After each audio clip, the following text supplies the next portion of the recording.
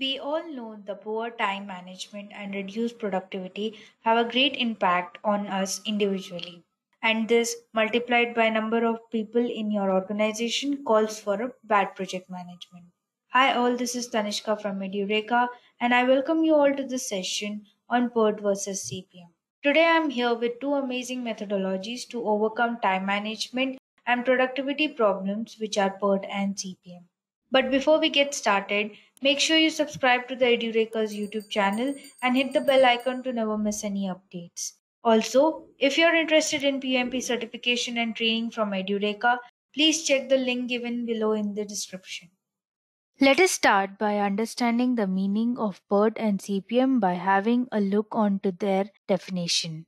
PERT, also known as Program Evaluation Review Technique, is a project management approach that involves planning, scheduling, organizing, coordinating, and controlling unpredictable tasks. It is a network model that is used to calculate the amount of time it will take to realistically finish a project. So, if you could see in this diagram, this diagram depicts the PERT network diagram. So, it looks like a network as it contains of nodes and arrows. So, if you look here, the circular node depicts the events or the milestones. So these events generally are numbered so that ending node of an activity is higher than the beginning node.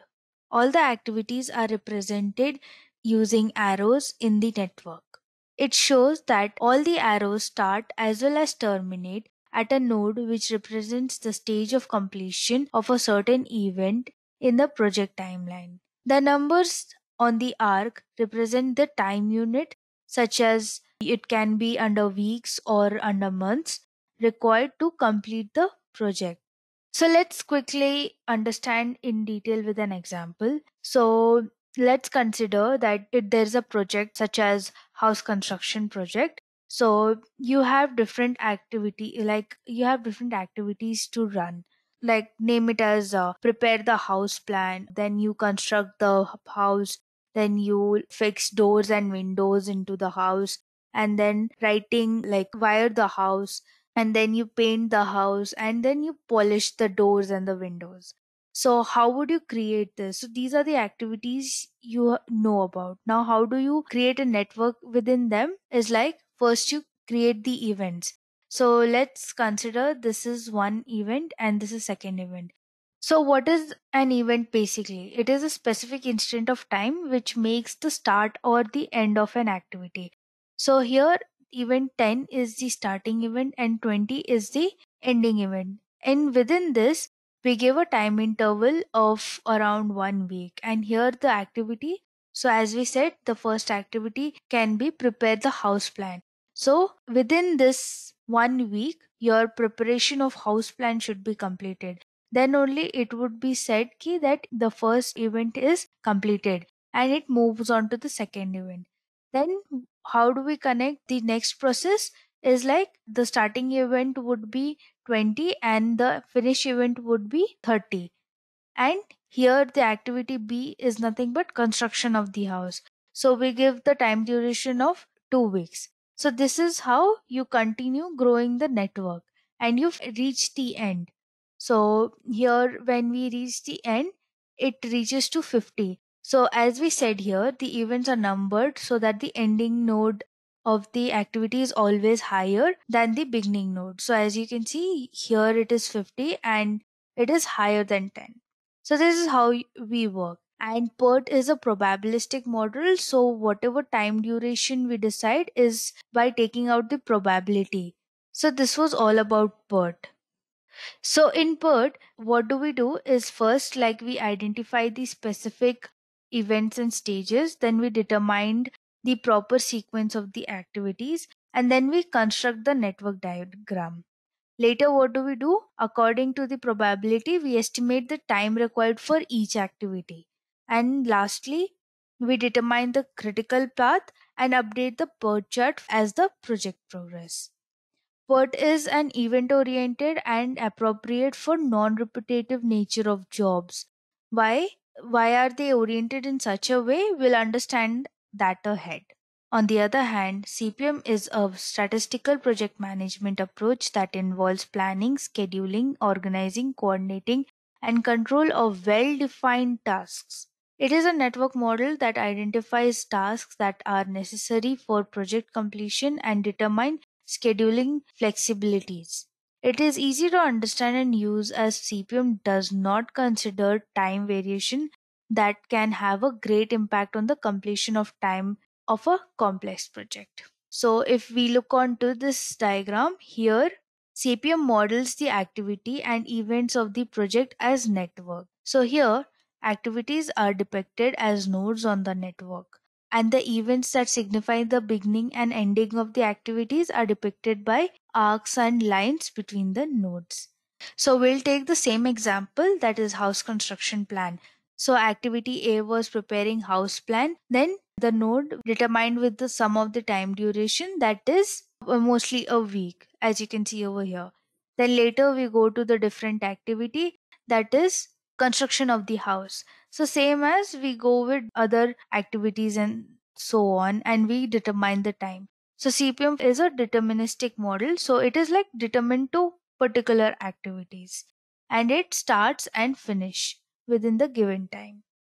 So in CPM, what do we do is like first we specify the individual activities, then determine the sequence of those activities and draw the network diagram and after that we estimate the completion time of for each activity and find the critical path that is the longest path through the network. And then we lastly update the cpm diagram as a project progress. Cpm is active oriented and appropriate for repetitive natures of job. Now let's compare the two in terms of models. Here PERT uses a probabilistic model that is, it takes into account the uncertainties involved in the estimation of time of a job or an activity.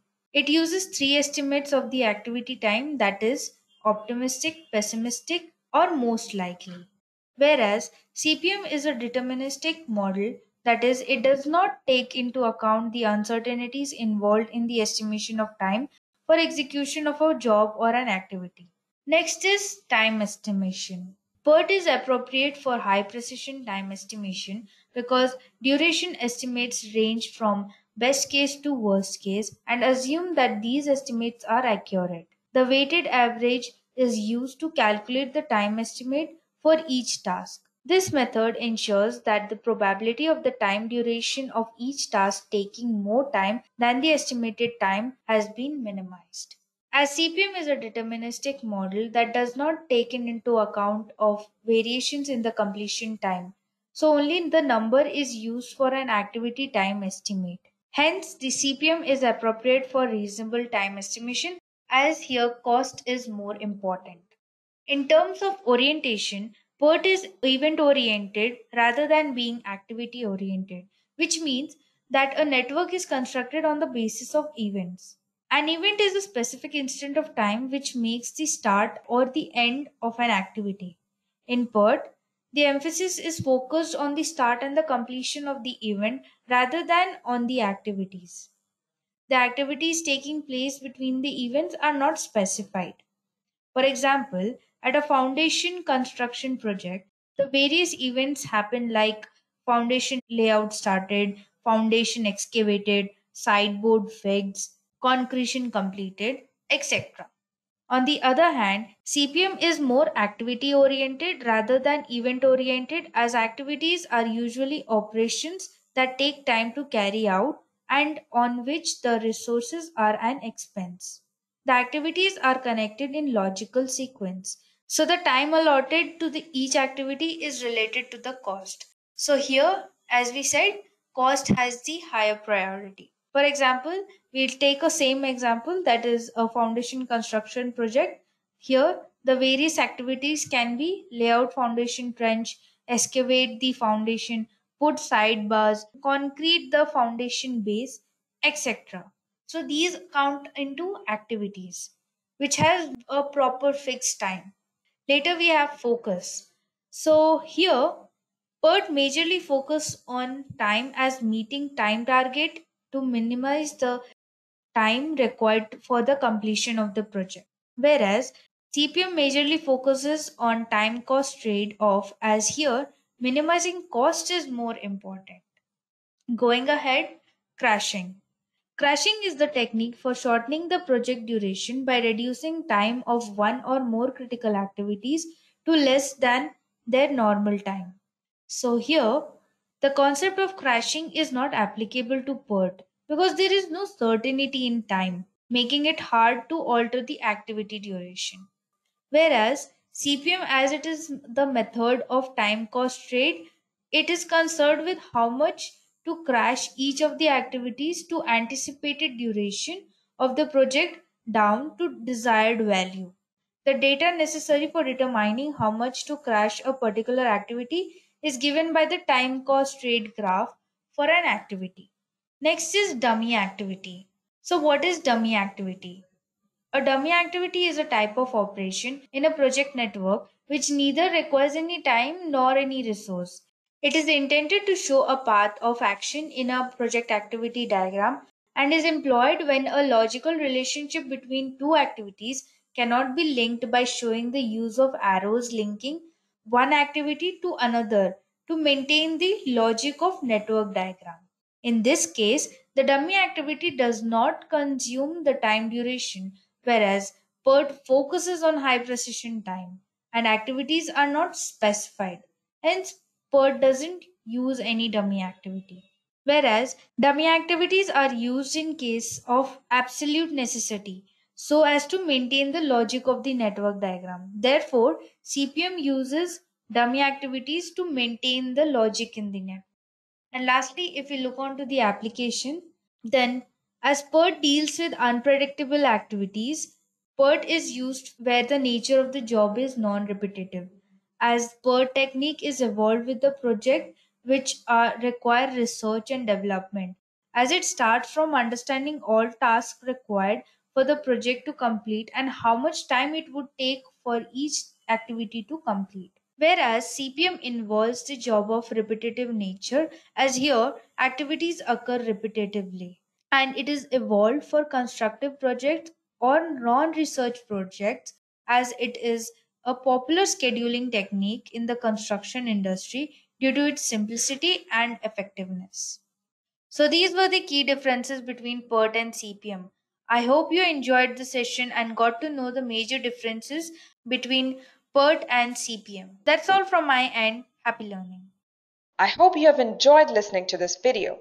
Please be kind enough to like it and you can comment any of your doubts and queries and we will reply them at the earliest. Do look out for more videos in our playlist and subscribe to Edureka channel to learn more. Happy learning!